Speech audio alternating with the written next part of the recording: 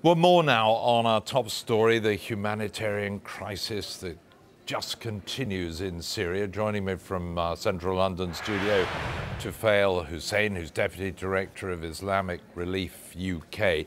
Um, very good to see you. Good evening to you. Um, the latest seems to be the announcement from UN that aid convoys have simply not got through to anywhere near Aleppo the whole of this month. So just what does that mean in terms of those hundreds of thousands of people on the ground in Aleppo? How tough are things there?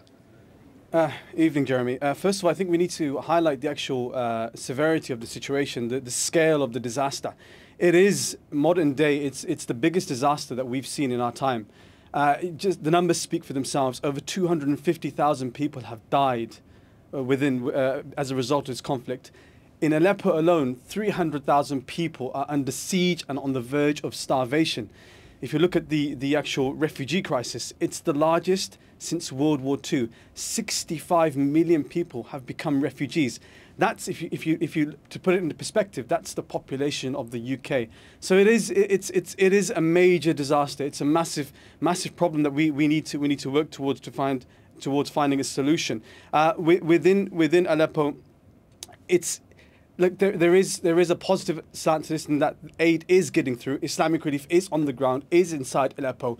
Uh, we have managed to get aid through uh, in the last five years. We've we've helped to distribute over 160 million pounds worth of aid to to to people within Syria, within Turkey, in the refugee camps in Lebanon, and also refugees in, in places like Greece as well. But it, it is it is it's a grave situation and it's something that needs urgent.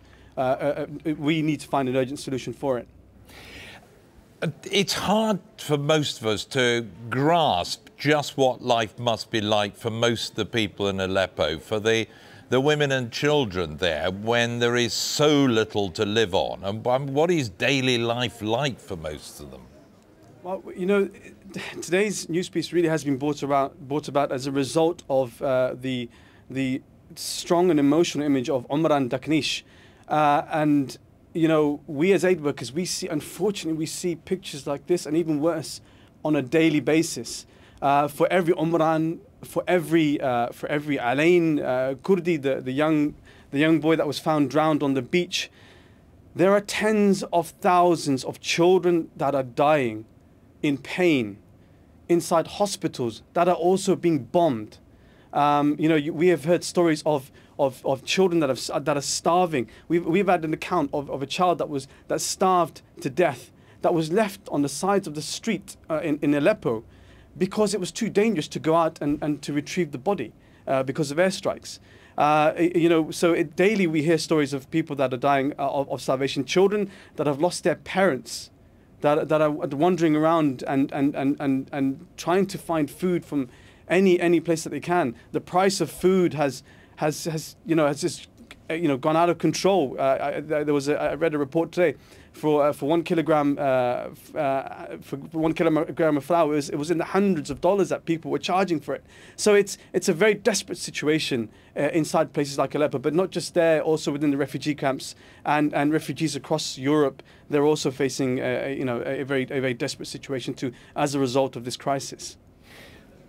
Is there other limits to what the aid agencies can do here? I saw that the UN Special Envoy today sort of abandoned his latest humanitarian meeting because, quite simply, there appeared to be no progress in trying to broker a deal to get aid through, let alone to talk to the warring factions about how to resolve the conflict. So, uh, I mean, what are your thoughts on the hopes for getting aid to those people and trying to talk some sense into the combatants? Well, look, we as humanitarian organizations, we need to do all that we can. We must never stop working. We must never stop making the effort. Uh, and as, as, as, I've said, our teams are on the ground. They are getting aid through. Um, and in terms of a solution, you know, there is no humanitarian solution to a political problem. We, you know, when we see images like Omran today, we, you know, we, we, we need to almost be, uh, it, needs, it needs to move us, move us into positive action. We need politicians across the world to stand up really and, and to make greater efforts to finding a political solution, to getting the, the warring parties together and, and, and to have dialogue. Uh, that's, that's prob- is, is probably one of the best ways to find a solution to, to, this, to this problem. But as aid agencies, we must continue working. We must continue making the effort.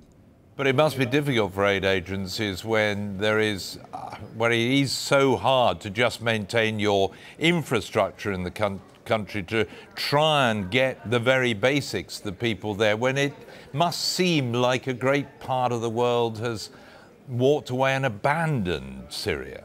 Uh, Today, I, I, I was just at the memorial service for aid workers, for humanitarian heroes that have passed. Uh, a year to the day, um, we lost one of our own, Nebras El Halaw, who, who died as, uh, through distributing aid. So it, it, is, it is very difficult, it's very challenging, but it's, it's what we do, it's what we have to do. We have to keep persevering, we have to keep trying. Uh, and we just hope that there is a, a, a solution on the line. But for five years, we haven't stopped working there. Tufail Hussain, uh, Deputy Director of Islamic Relief UK, thank you very much for that insight into this terrible situation in Syria.